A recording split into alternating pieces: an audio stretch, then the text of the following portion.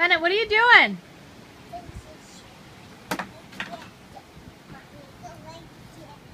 Goes right there? Are you cleaning?